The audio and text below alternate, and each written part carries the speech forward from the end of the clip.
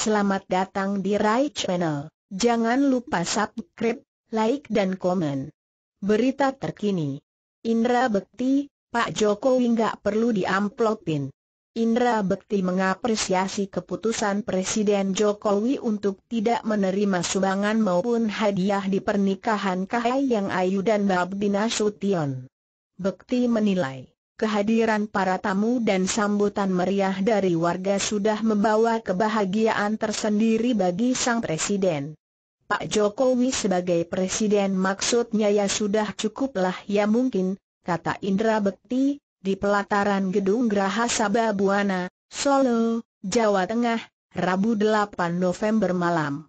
Dengan kehadiran tamu-tamu itu, udah merupakan doa dan hadiah tersendiri gitu, jadi nggak perlu diamplopin lah atau mungkin memberi hadiah apa pun, lanjutnya.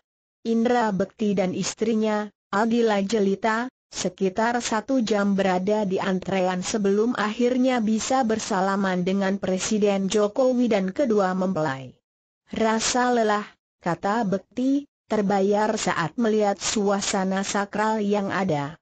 Belum lagi suguhan lezat yang disuguhkan pemilik hajat. Suasananya, lagu Jawa, pengantin pelan-pelan jalan ke pelaminan, hikmat sekali. Semoga langgeng ya, cepat dapat momongan, segalanya lah, Indra Bekti mendoakan Kayang Ayu dan Babdi Nasution. Terima kasih,